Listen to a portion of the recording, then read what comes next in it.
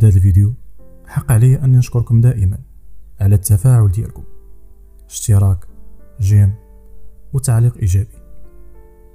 وهذا الشيء إلا كان كيدل على شي حاجة فراه كيدل على أنكم جمهور راقي.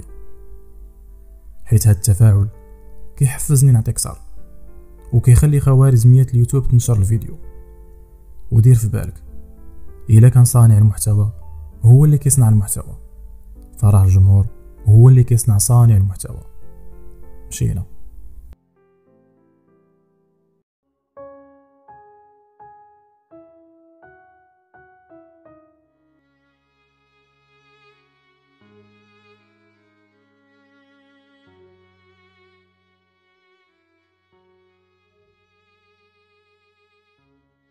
في سلسلة انقلاب الصخيرات وفي الجزء الأول من هذه السلسلة كنت ذكرت السياق التاريخي اللي وقع فيه هذا الانقلاب.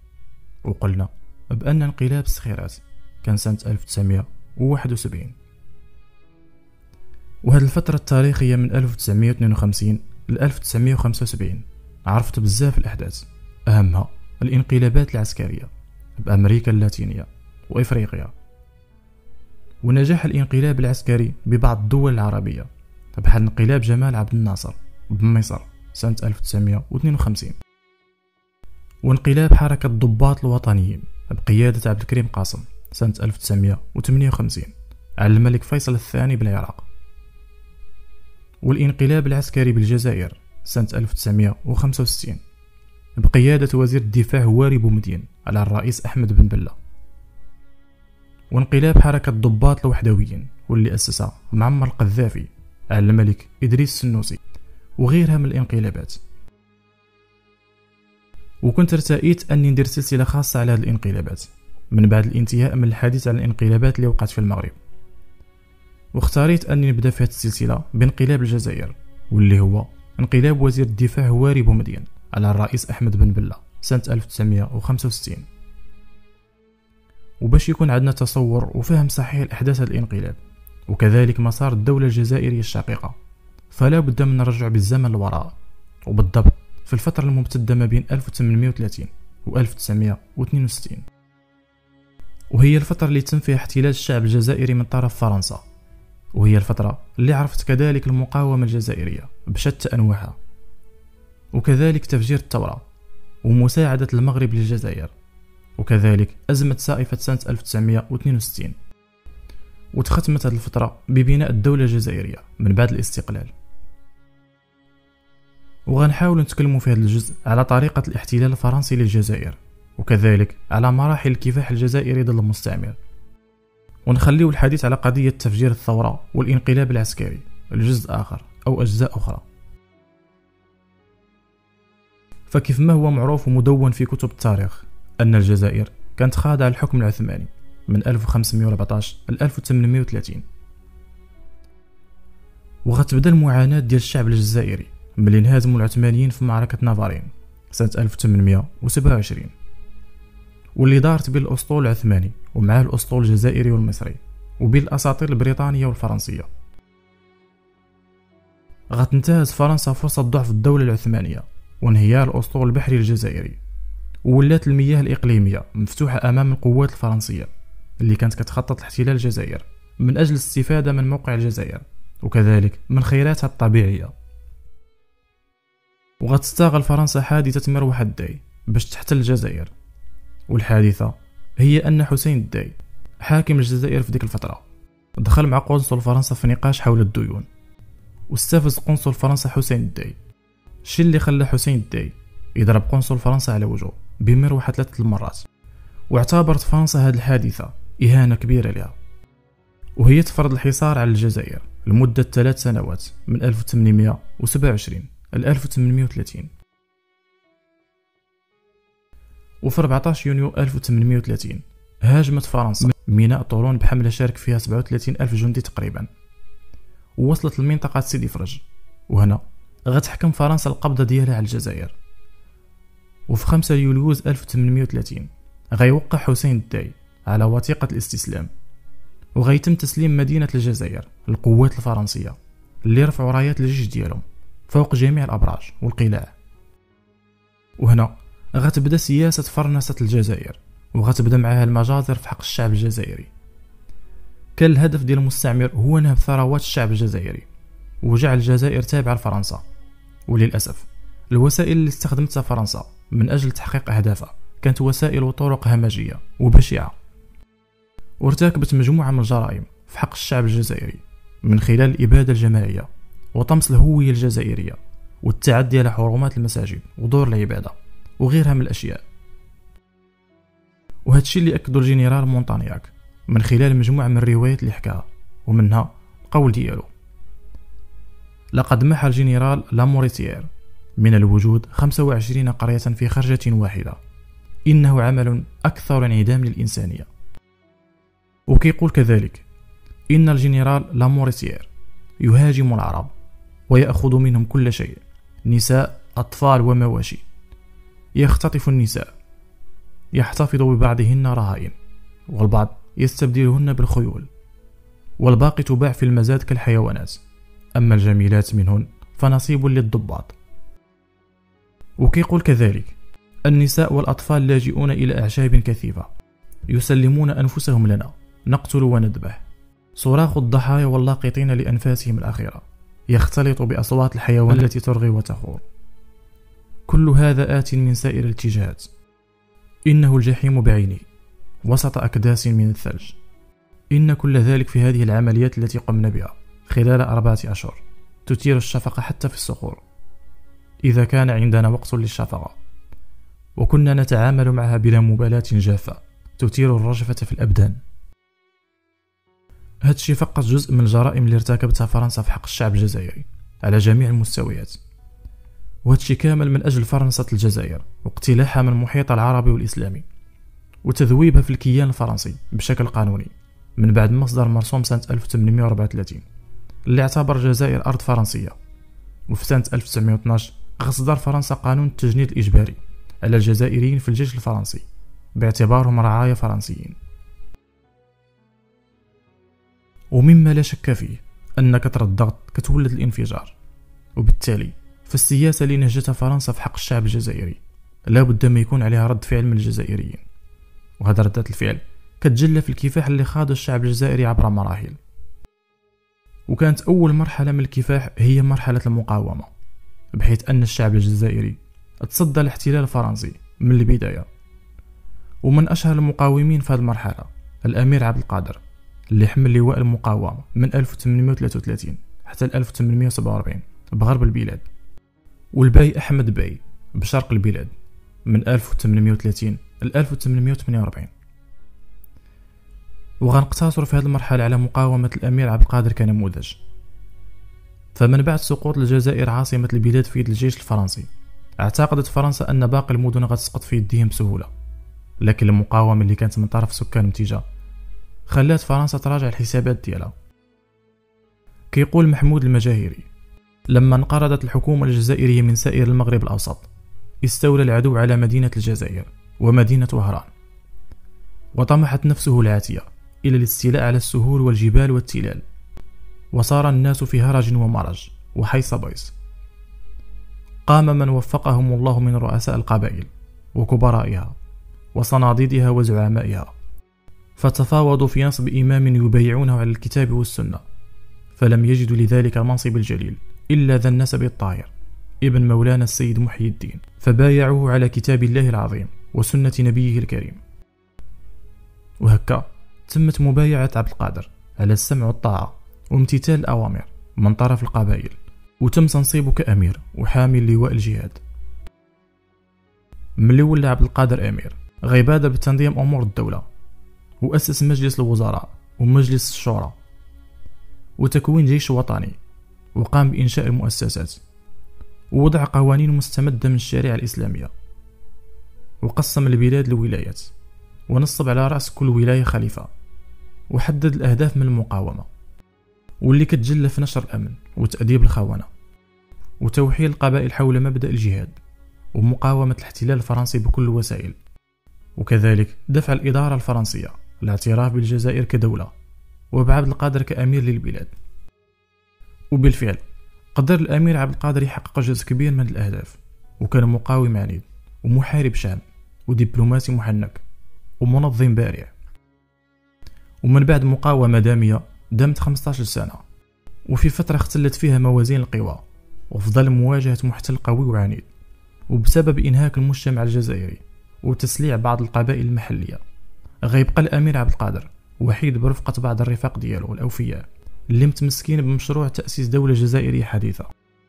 الشي اللي أدى في آخر المطاف لوقف القتال سنة 1847 بشروط. لكن فرنسا ما التزمتش بالوعود ديالها الأمير عبد القادر وخدعاتهم اللي حولت الباخرة من وجهة الإسكندرية أو عكا لوجهة المعتقلات الفرنسية بحيث أنها اعتبرت الأمير عبد القادر مجرم حرب. وهكا. سالت مقاومة الأمير عبد القادر واستمرت مقاومة الشعب الجزائري ضد الاحتلال الفرنسي. وغتجي مرحلة أخرى من الكفاح الجزائري وهي مرحلة الانتفاضات اللي امتدت من 1848 ل 1916 وشملت هذه الانتفاضات كل مناطق الجزائر كرد فعل من الشعب الجزائري اللي ما كانش راضي بهذا الواقع المفروض عليه من طرف الاحتلال الفرنسي. الشيء اللي خلاهم يعبروا على غضبهم ورفضهم لهذا الوضع المثيل. من خلال عدة انتفاضات اللي قادها العديد من رؤساء القبائل ومشايخ الزوايا. إلا أن الانتفاضات ما كتبش لها النجاح حيث كانت كتفتقد للتنظيم والتعبئة الوطنية الشاملة ولتحديد الهدف حيث كانت مجرد رد فعل من طرف بعض القبائل على الإهانة ديال وحدات الجيش الفرنسي. وكانت فرنسا كتواجه الانتفاضات بوحشية وهمجية والدليل على هادشي انتفاضة واحد زعتشا. وهي من أشهر الانتفاضات اللي واجهوها جنود الاحتلال بالتقتيل والتمثيل بجثث الشهداء. من بعد مرحلة المقاومة والانتفاضات غتجي مرحلة أخرى من الكفاح الوطني الجزائري واللي هي مرحلة النضال السياسي. وامتدت هذه المرحلة من 1919 ل 1954 وكتعتبر هذه المرحلة مرحلة انتقالية في مسار كفاح الشعب الجزائري. بحيث أنهم انتقلوا من المقاومة المسلحة. للثورة التحريرية وعوض استعمال الأساليب الحربية اللي كانت في المقاومة والانتفاضات. غيستعملوا في هذه المرحلة الأساليب السياسية. وبداو الجزائريين في هذه المرحلة بتأسيس الجمعيات الدينية والثقافية والرياضية والأحزاب السياسية والحركات الحقوقية وخوض غمار الانتخابات ونشر الصحف وعقد المؤتمرات. واستعمال الأساليب الحديثة اللي كان كيستخدمها المستعمر في التأثير وتوجيه الرأي العام. ومن سنة 1916 اللي تزامنت مع قيام الحرب العالمية الأولى سنة 1914 بداو الجزائريين كيدعيو العلم والتطور وتأسيس النوادي والمدارس الحرة والتعريف بالشخصيات الجزائرية وتقديم المطالب والاعتراض على التجنيد الإجباري في صفوف الجيش الفرنسي والوقوف في وجه التيارات الداعية. للتجنيس والاندماج بالإضافة للتنديد بالظلم الفرنسي على المستوى الاجتماعي والإداري. الشيء اللي خلى بعض الكتاب في الجرائد الجزائرية كجريدة الحق الوهراني يدعيو الشعب الجزائري اليقظة والاتحاد. وكان من بين الأشخاص الأوائل اللي تبناو النضال السياسي الأمير خالد وهو من أحفاد الأمير عبد القادر اللي تحصل على درجة ضابط من سانسير بفرنسا سنة 1897 وبما أنه كان رافض للتجنس بالجنسية الفرنسية غير تعتبر ضابط أهلي ومن اللي مرض وتقاعد سنة 1919 فضل الإقامة بالجزائر والتفرغ للنشاط السياسي من أجل الدفاع عن البلاد ديالو. وكان الأمير خالد كيعتز بكفاح الأجداد ديالو وكان كيعبر على هذا الاعتزاز في الكتابات ديالو في المناسبات. ومن الأشياء اللي قال في الصدد إن أجدادنا قد أضرموا حربا حامية الوطيس مدى خمسة عشر عاما وأزيد. ولم يكن النصر حليفهم ولكن تقدير بطولتهم وشجاعتهم وشهامتهم حق ثابت. لا ينبغي أن ينكره المنتصرون علينا. كما لا ينبغي لي أنا حفيد الأمير عبد القادر أن أسكت عنه مثل ما فعل كثير من المنتخبين. الشي اللي خلى الأمير خالد يحظى بتأييد الجماهير ليه واختار للنضال ديالو ربعة الوسائل منها الصحافة وانشاء صحيفة الإقدام. اللي لقات شهرة واسعة وكذلك الخطب اللي امتاز بها في الحملات الانتخابية بالإضافة للمجالس الانتخابية اللي كان كيقدم فيها المطالب وكينادي بالمساواة بالإضافة للاتصالات اللي كان كيقوم بها مع الشخصيات الفرنسية والنواب ورؤساء الجمهورية من أجل إبلاغها بوضعية الجزائريين. الشيء اللي خلى الفرنسيين ينفيهم من البلاد الجزائرية البلاد الفرنسية. وتم لقى ترحيب من العمال الجزائريين بفرنسا ونظم معاهم حزب نجم شمال إفريقيا وتختار الأمير خالد كرئيس شرفي للحزب كتكريم للكفاح والنضال ديالو. وبفضل حزب نجم شمال إفريقيا بدأت فكرة الاستقلال كتخامر الأذهان وكتبلور في النفوس والمحافل. كيقول الدكتور أبو القاسم سعد الله إن ميلاد نجم شمال إفريقيا كان أحد الأحداث العظيمة في التاريخ السياسي للجزائر فقد ساهم بنطاقه واتجاهه الثوري. وأمد في تدعيم وتوجيه الحركة الوطنية بشكل فعال والنجم الذي ولد من رماد كثير من المحاولات الوطنية في العقود السابقة والذي كان يشجع تأييد اليساريين الأوروبيين وتطورات الشرق الأدنى حاول أن يدخل عناصر جديدة في السياسة الجزائرية. ولكن مساهمة النجم خلال الفترة المدروسة لم تكن مدهشة كثيرا لأنه قد واجه عقبات مختلفة من السلطات الفرنسية. وكان محاربا من الشيوعيين لموقفه الوطني الضيق وكان يقوم بنشاطه خارج الوطن وقد ساعد على تثقيف الجماهير سياسيا ولا سيما المهاجرين الجزائريين في فرنسا وأوروبا بالإضافة إلى الطلبة كما جعل القضية الجزائرية معروفة عالميا ولم تحن سنة 1930 حتى بدأ النجم يتسرب إلى الجزائر أيضا.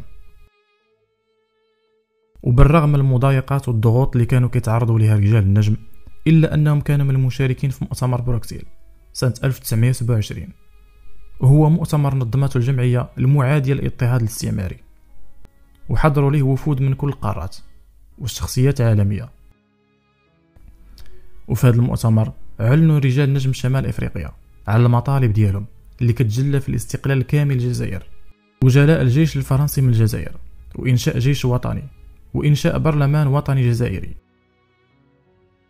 كيقول الدكتور عبد الحميد زوزو ولعل تأكيد نجم شمال إفريقيا على الاستقلال في نظرنا كان متناسبا مع شدة طبيعة النظام السياسي في الجزائر ومع عنف القوانين المكبلة للشعب الجزائري. فالجزائر كانت قد جردت من شخصيتها السياسية وأعلنت بقانون إلحاق اعتباطي جزءا من فرنسا كما جرد شعبها من حقه في الحياة بخضوعه لقوانين استثنائية جائرة. هادشي كيدل على أن رجال النجم كانوا كيشعروا بالمعاناة ديال الشعب الجزائري الشي اللي خلاهم يطلبوا بالاستقلال من البداية لأنه هو الحل والخلاص من هذه المعاناة. كما أن رجال النجم كانوا واعين بأن هذا المطلب كيحتاج نفس طويل وتضحيات جسيمة. ومن بعد تأسيس نجم الشمال غيتم كذلك من بعد خمس سنوات تأسيس جمعية العلماء المسلمين الجزائريين سنة 1931 واللي تزامن مع احتفال فرنسا. بمرور قرن على احتلالها للجزائر وخلال هذا الاحتفال بينوا الفرنسيون اللائكيون حقدهم الديني. حتى أن بعضهم قال إن احتفالنا اليوم ليس احتفالا بمرور مئة سنة على احتلالنا للجزائر ولكنه احتفال بتشييع جنازة الإسلام. وهذه الاستفزازات والنعرة الصليبية خلت الجزائريين يلتفوا حول الإسلام. ويتشبتوا به أكثر الشيء اللي دفعهم يبحثوا على تنظيم يدافع الإسلام. والمسلمين الجزائريين. ومن هنا جاءت فكرة إنشاء جمعية العلماء المسلمين واللي تشكلت من عدة علماء أبرزهم عبد الحميد بن باديس والباشير الإبراهيمي والطيب العقبي ومبارك الميلي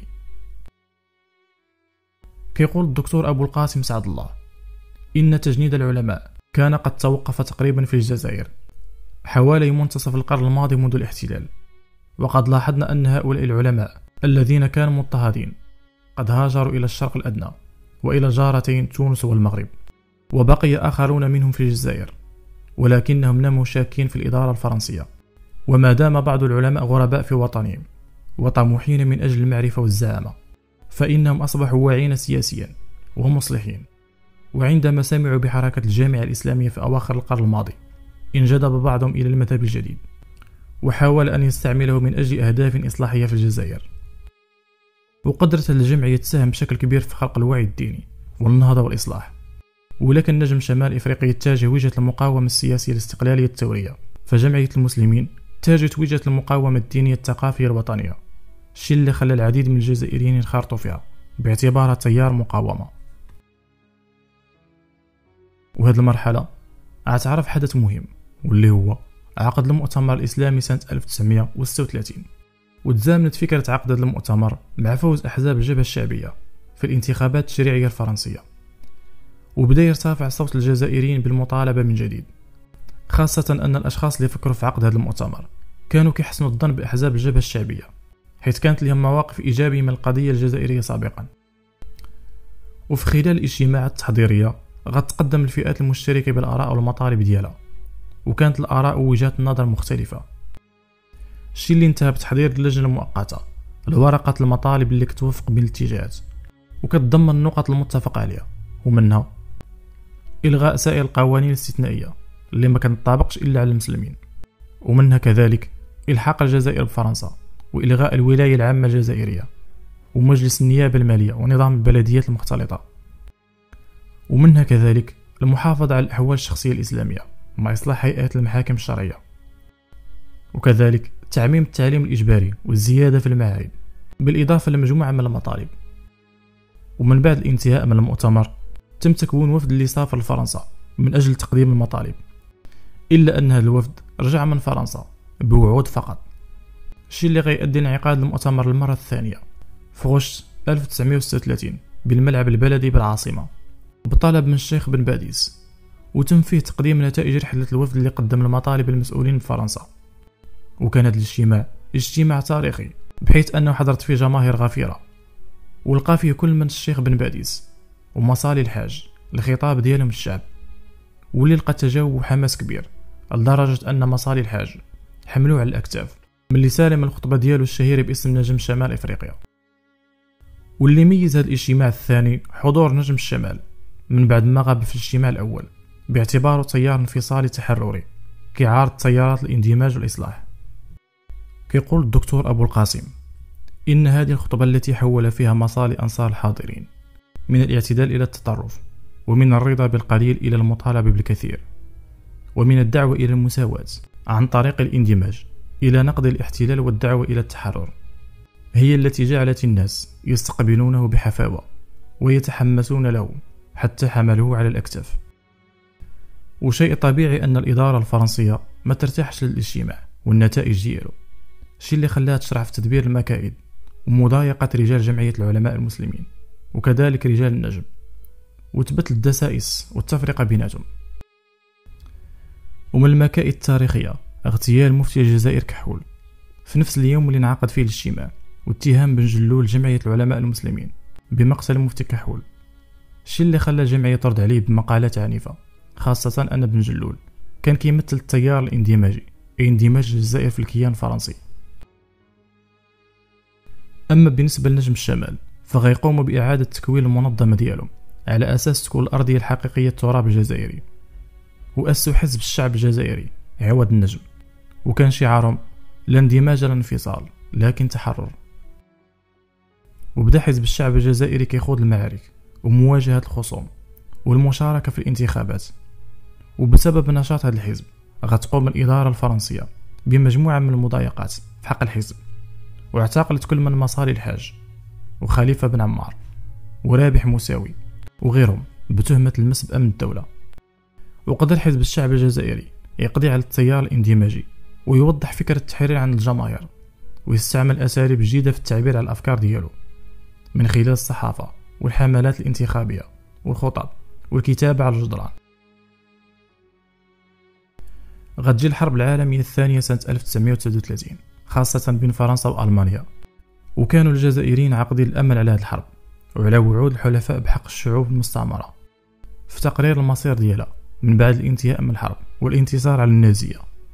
وهنا غتبدأ الدعوات بحث الجزائريين على التجنيد والتطوع ونصرة فرنسا حيث اعتقدوا بأن التطوع والتجنيد في الجيش الفرنسي غيخلي فرنسا تراجع سياستها في التعامل مع الجزائريين وتلبي المطالب ديالهم.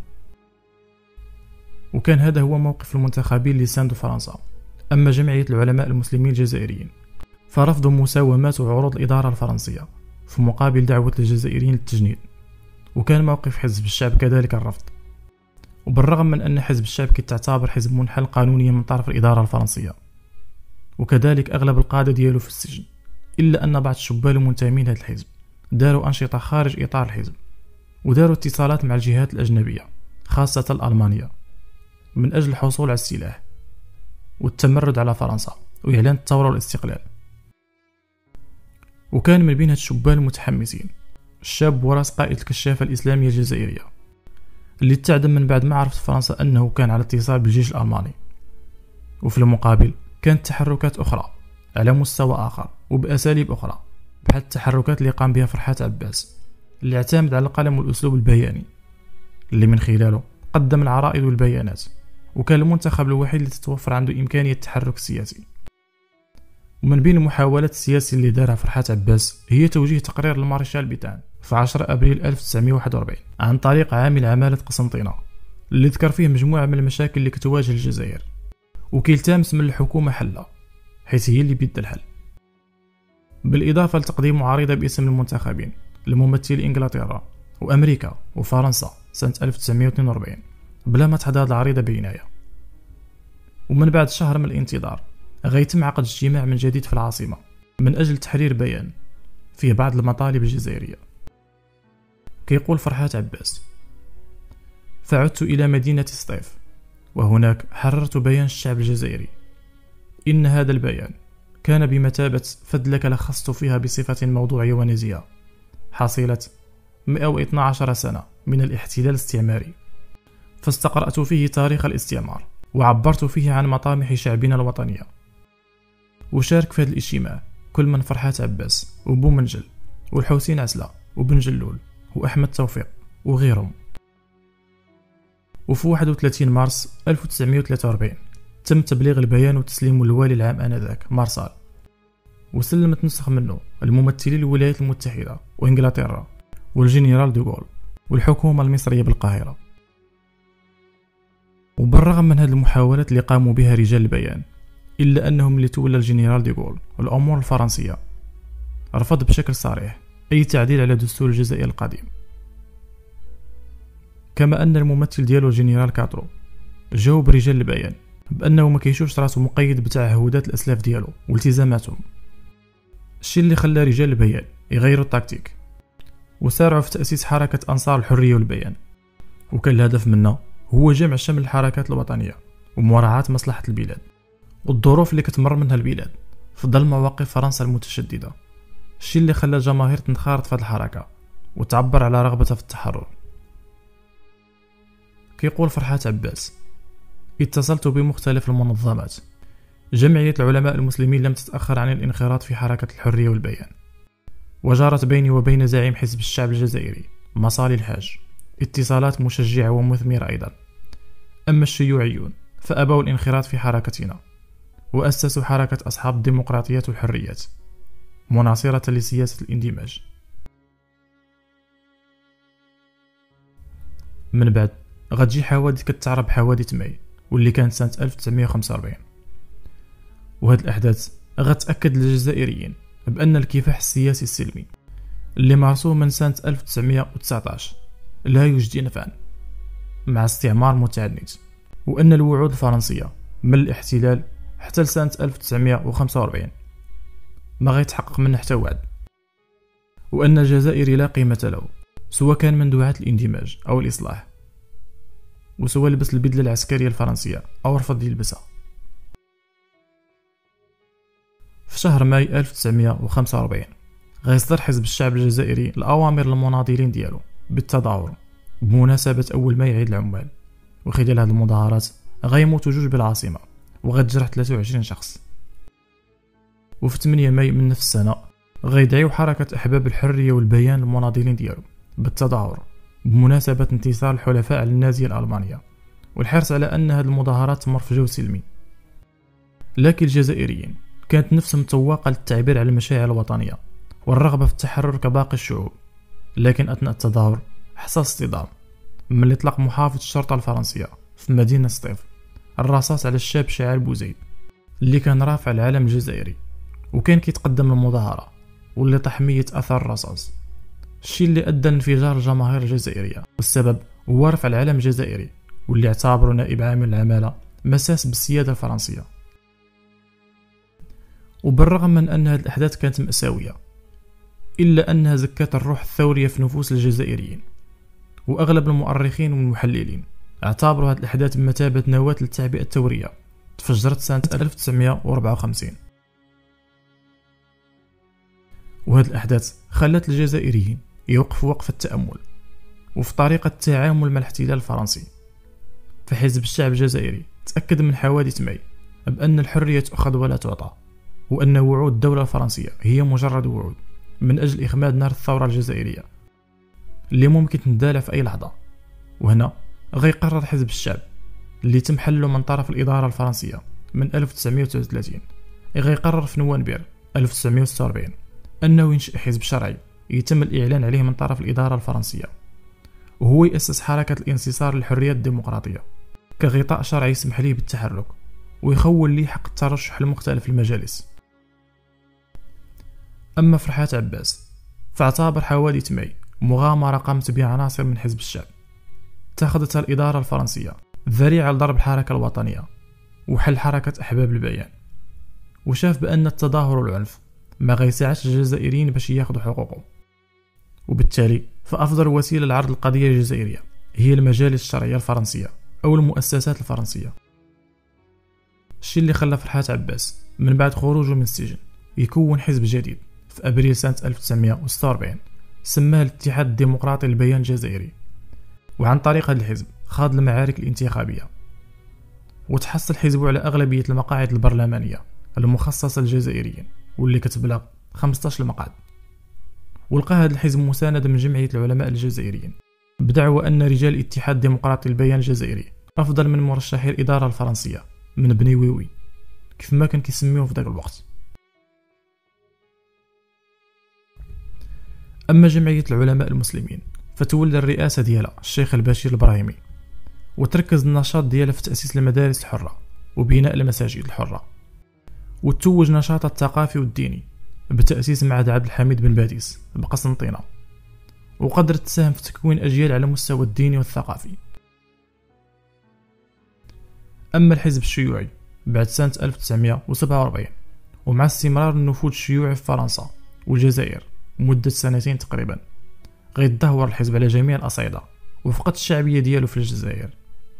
الشي اللي خلاه يراجع السياسة ديالو ويحاول يتقرب للجماهير وينظر للمطالبة بروح جديدة.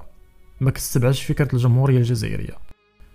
وتم إبعاد العناصر اللي كانت معادية للحركات الوطنية ورجالها. وتم تنشيط النقابة ديالو الكونفدرالية العامة للعمال للدفاع على حقوق العمال في كل من فرنسا والجزائر. أما الإدارة الفرنسية فكانت الوسيلة ديالها في مواجهة الحركات الوطنية والمطالب ديالها هي التجاهل والوعود والقمع. وهذا الشيء أدى لنماء الفكر الثوري عند الجزائريين خاصة في حوادث ماي سنة 1945 الشيء اللي خلى الإدارة الفرنسية تخدم أسلوب آخر من أجل تلطيف الأجواء واكتساب الجانب الجزائري من خلال فتح باب الترشيح للبرلمان الفرنسي أمام الجزائريين. وكان الاتحاد الديمقراطي البيان الجزائري من أكثر المتحمسين لفكرة الترشح للبرلمان الفرنسي ورشحوا نخبة من خيرة العناصر المثقفة وتحصلت على 11 مقعد من بين 13 مقعد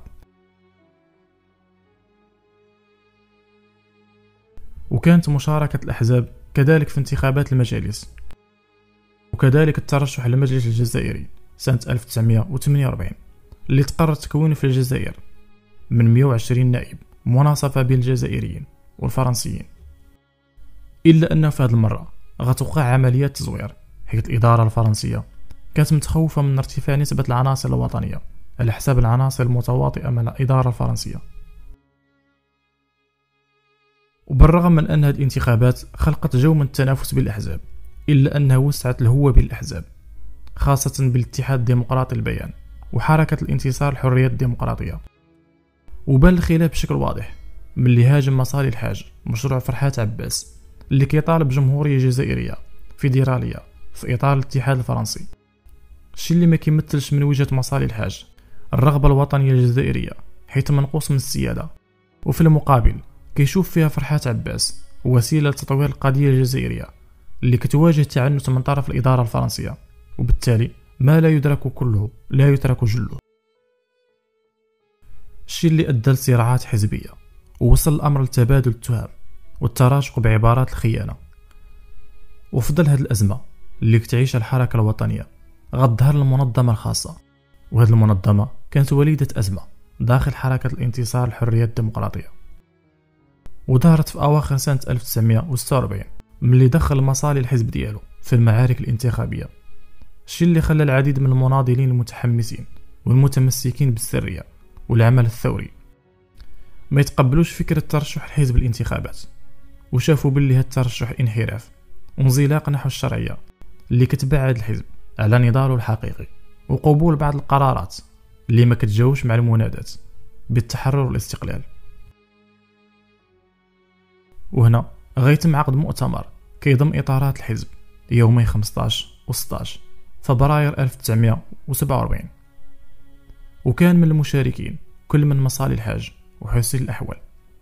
وبن يوسف بن خدة. ومحمد خيدر ومحمد الأمين باغين ومسعود بوقادوم وحسين أيت أحمد ومحمد بولزداد وعمر أصديق ومبارك فيلالي وإبراهيم عيزة وغيرهم.